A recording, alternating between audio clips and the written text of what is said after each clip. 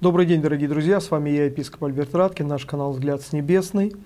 А, мое внимание привлек а, один а, сюжет в сети Facebook, где Антон Игнатенко дал ссылочку на обращение главного советника президента Украины Алексея Арестовича и на обращение главы Следственного комитета Российской Федерации Александра Бастрыкина.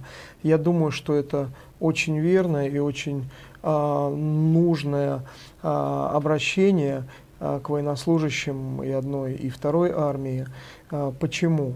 Потому что есть международная а, конвенция Женевская об отношении к военнопленным. И сегодня, как никогда, права тех ребят, которые в плен попали с одной и с другой стороны, особенно верующих, особенно христиан и мусульман, должны соблюдаться как никогда. А, поэтому давайте посмотрим, что сказал в своем видеообращении Алексей Арестович. Э, благослови всех Господь. Дорогие друзья, давненько не виделись в таких вот неформальных видеозаписях. Я хочу поговорить с вами сегодня насчет э, угроз зашивать кадыровцев свиные шкуры, там издевательски кричать Аллах Акбар, макать патроны в сало, напоить водкой и так далее, и так далее.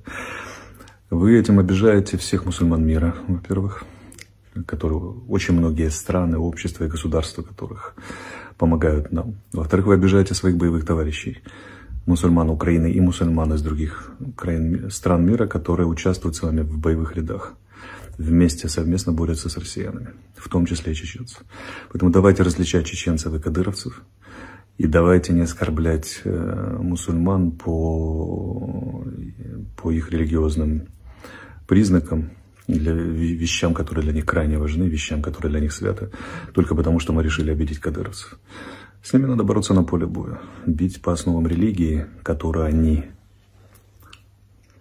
основные заветы, которые они, как считают многие мусульманские ученые, искажают, это не наше дело. И вот так вот в порыве, в порыве, в порыве праведного гнева можно очень сильно напутать, что, к сожалению, часто и происходит, очень напутать одно и другое. Я вам приведу кавказскую пословицу, говорят она чеченская.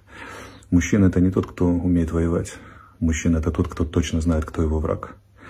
У врага есть конкретные признаки. Не путайте мусульман и кадыровцев. Это очень разные вещи. Не оскорбляйте братьев по оружию, не оскорбляйте тех, кто помогает нам и деньгами, и политически, и экономически, и э, гуманитарно. И не оскорбляйте полтора миллиарда человек, которые верят в ислам.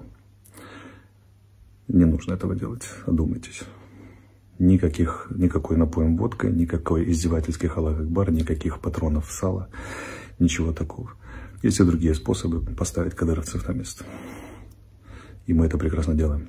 Но только не оскорбление по признакам религии.